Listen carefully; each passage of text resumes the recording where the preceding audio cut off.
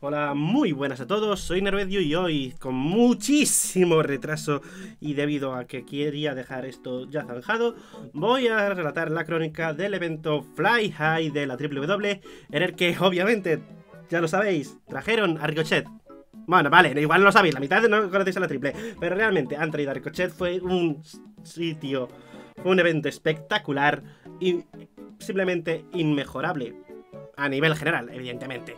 Android a Ricochet como main event. Eh, ya contaré más temas aparte sobre la historia porque he dado las 5 estrellas, pero por razones diferentes. He tenido que analizarlos desde un punto de vista más indie, más centrado en ser autoconscientes del wrestling y del mundo que hay. Así que vamos a ello. Primer combate, Astiles y Francesco Palazzo ganan a Dorian y Michelle M por descalificación. ¡Ay, Dios mío! ¿Por qué? Descalificaciones, siempre, siempre es una forma rápida de acabar el combate. No, fue un buen combate, le doy tres estrellas. Un aprobado al holgado, nada espectacular, pero lo suficientemente entretenido para ser un opener. Está bastante bien, es lo que se esperaba. Buenos movimientos, Astiles sigue manteniéndose en forma, muy bien. Michelle debe pegar más fuerte, Dorian también deben pegar más fuerte, porque a mí me gusta que la gente se pegue y se destroce la carne. No me imitéis, no me imitéis. Pero aparte de eso, ah, está bien, a mí me gustó. No me voy a quejar demasiado, pero me gustó cómo hace el personaje de Astiles. No se podía sacar mucho más a priori, pero aún así salió bastante competente.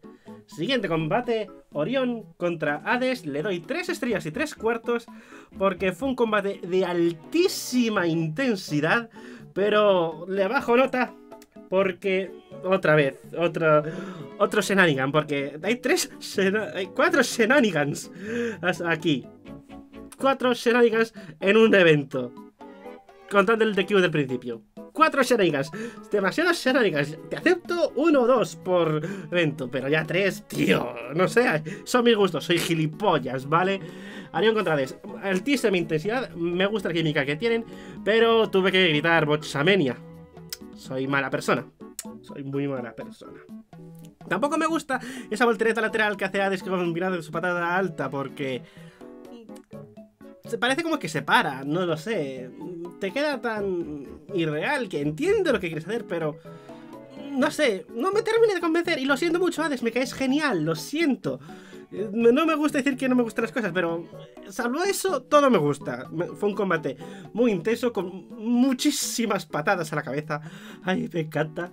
Y simplemente el shenanigan del final, pues, vale, te lo admito como historia, te admito como te, se ha hilado con todos los encuentros que han tenido antes. Por eso le di tan buena nota, está muy bien hecho. Pero tanto shenanigan no me gusta, lo siento. Pero aún así, 3 estrellas y 3 cuartos, muy buen combate. El siguiente es que los guapos ahora son campeones del Triple W, campeones por parejas, porque Shenanigans también de Adam Chase, porque ese tío es un puto crack. No soy imparcial, ¿verdad? No, no lo soy, no soy imparcial. Adam Chase es un puto crack en lo que a personaje se refiere, tiene una expresividad de la hostia y lo saca a relucir cuando tiene que hacerlo. Y es que tiene sentido, que es lo peor, porque no me, no me puedo quejar, porque tiene razón. Combate de altísimo nivel. No me creía que un combate con un luchador invitado llegase a tal nivel porque temas de radiación del combate. Pero cuatro estrellas y medias. No tiene las cinco estrellas, pero por muy poco. Pero todo, todo eso que ha habido para construir el combate, la victoria el mes pasado y la derrota en este, pues mira. Pues mira, no me puedo quejar. Ya está, simplemente se ha llevado muy bien. El personaje está excepcionalmente bien llevado. El combate ha sido brutalísimamente intenso. Oh, Junke y Adam Chase se compaginan muy bien sus estilos distintos. Los avanzaguapos lo han sabido llevar de puta madre. Y yo no, como siempre, pues bien, estos son. Estos son invasores, son evidentemente malos, no van al título. Ganaron el título, es muy cabrones.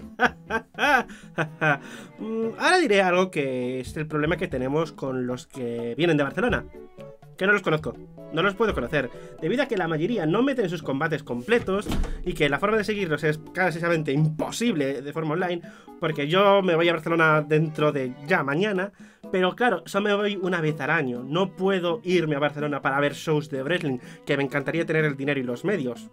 miradme el Patreon. Pero aún así, no puedo permitirme ir a Barcelona para ver wrestling. Aunque eh, quisiera, no me lo puedo permitir. Tampoco mete los combates y shows completos. Es un gran problema que tienen tanto la WWE como Rio, como SPW, como la que acaba de salir en, en Sevilla, creo, o era Cádiz, uno de los dos. También sé que hay uno en País Vasco. Y el problema es que no hay ninguna forma relativamente viable de seguirlo todo. Que yo pagaría. Yo pagaría, pago mi WWE Network, pago mi Netflix, pues pago algo más por ver todo el wrestling español. Pues lo haría. Lo haría perfectamente. Pero no tenemos esa oportunidad. No sé por qué, porque mm, por temas técnicos, no lo sé. Por temas de derechos, posiblemente también, porque puede ser. Pero aún así me gustaría poder ver los combates del resto de promociones. Y ese es el problema. No puedo hacer más que ver los a guapos, quejarme de que se han llevado el título y no sé qué está pasando con el título porque no puedo seguir lo que hace Riot ni puedo seguir lo que hace SPW.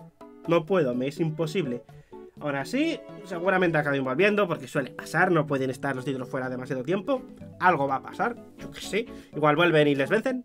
Y espero que sea así, porque los a guapos ya cuando le vi en Norlos Day del año pasado, pues ni fu ni fa ahora con uh, su compañero, que le llamamos uh, Justin Bieber. Pero bueno, pues es gracioso, es, muy, bueno. Me sorprende que haya salido tan bien. Cuatro estrellas y media. Excepcional combate. Me, eh, me, gustó más que el de Ricochet, lo voy a decir, pero por otros temas, ¿vale? A nivel técnico me pareció mejor el de Ricochet, pero a mi gusto me pareció, me gustó la rendición eh, de, de tacting que hubo con los guapos No puedo, no puedo decirlo, soy un quejica. Yo soy tonto, posiblemente. Ah, más shenanigans, Paolo contra Rookie. Paolo gana por descalificación y se enfrentará a Thrashman por el título extremo, si no me acuerdo. O mal. Posiblemente me equivoque. Espero que no. No, no, no me equivoco. Así que... Bueno, sí, Padre Pablo es el aspirante al título extremo. Eh, fue un muy buen combate. Rookie siempre consigue mantener un personaje brutalmente eh, creíble. Paolo lo hace genial como ese heel listillo uh, y me parece un muy buen combate. Tres estrellas y tres cuartos. Muy bueno. Pero es que cuatro shenanigans. Cuatro shenanigans en un puto evento. Me duelen, vale, lo siento, perdona, estoy a punto de llorar. Ay, perdona, soy yo, sí. El siguiente combate ya está, cinco estrellas, Ricochet contra Kid. Miradlo en puto YouTube. En serio, ¿tenéis derechos para que, que aparezca en un combate completo en YouTube? Que espero que sí, yo espero que sí. Su contrato con Sandra no ha acabado, así que tendrá sus cosillas, sus cláusulas, sus todos. Ahora sí. Ah, esto es el high flying de intensidad. ¿Que hay gente a la que no le gusta el high flying? Pues que se joda un poco, que es así de bonito.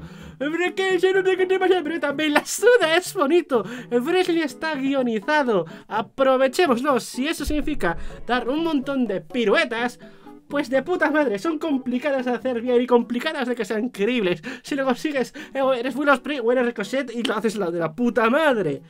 Es complicado y es brutalmente bueno y me encanta cuando sale muy, muy bien.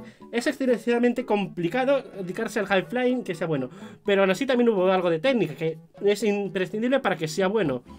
Evidentemente el nivel de Ricochet y el Yakid hay, una, hay diferencia, pero aún así Aikid consigue mantener el ritmo sin dudarlo casi en ningún momento. Si se ve el vídeo hay algunos momentos donde parece que va, pero no se nota una vez estás ahí, que es lo que importa es brutalmente intenso, es brutalmente sin ningún fallo, totalmente limpio. Y por Dios, sin shenanigans, joder. Ay, besito. Aún así, yo le di las 5 estrellas, pero porque he visto la historia desde el punto de vista más de que somos fans de la WWE. Esto no es el punto de vista de alguien que es este combate lo pone en la WWE. Es puta mierda esta historia. Pero estamos hablando de que es la historia de quién se va a enfrentar a Ricochet. Es la historia de unos indies que han dicho, tenemos suficiente para tener a Ricochet. ¿Quién se va a enfrentar? ¿Quién va a tener la gloria de luchar? No de ganar. Que ya sabíamos que iba a ganar Ricochet, pero por huevos. Es la historia de llegar a enfrentarse con un grande. Es una historia muy bien llevada. Es una historia entre el campeón de que juega sucio contra alguien que se esfuerza. Un, un face contra Hill, pero de libro de, de Wrestling 101. El Hill que consigue el, título contra Quiñones y el Face que, se, que no se rinde ante el juego sucio. y aún así me parece una historia excepcionalmente bien llevada. Aún así, no es lo más habitual que yo cambie tanto una nota con una historia. Mm, pero aún así, si yo veo desde que Hades se consiguió el título eh, hasta que eh, esto, están llevando una historia aquí contra Orion muy buena. Aún así, debe acabar pronto. Ya se ha demostrado que Ricochet y Eddie aquí luchan muy bien con mucha química. Y Ricochet dijo que le gustaría volver a Madrid cuando tengan, cuando tengan dinero. Yo que sé, que para esto funciona así. Así que me pareció un combate merecidamente 5 estrellas. Así que mm, mm, eso contando con la historia. Mm, porque la habéis hecho muy bien a, muy largo plazo. No me la jugaría tanto por vuestros motivos. Pero aún así, cabe decir que después del combate pude hacerme una foto con Ricochet. Y voy a dar esto en YouTube. Iba con mi camiseta de Steven Universe. Ricochet me llamo Steven. Dejadme fardar un poco, es lo único que tengo en esta vida. Sí, me ha molado que me llamas Steven, sin yo dirigir la palabra antes. Muy majo, muy genial. Se hizo la foto, muy buena persona. Sinceramente, no esperaba que hiciese mi tan pero al final sí hizo y pagué 20 pavos por una camiseta con foto. Ah, no me arrepiento demasiado, porque podía permitírmelo en ese momento. Ya está, simplemente me pareció un genial combate y un evento de 10. Sí, de 10, le doy un, 10 de, evento, sí, ya está, muy buen evento. A nivel general muy bien, me, sigue gustando White Wars, pero White Wars fue mega épico. Así que ahora toca todo o nada, que debe ser en en marzo. Por suerte no es este sábado que estoy fuera en Barcelona. Ah, ¿Este PW o Río luchan este sábado? Me gustaría saberlo, por si acaso. O este fin de semana, cualquiera de los dos meses, vale.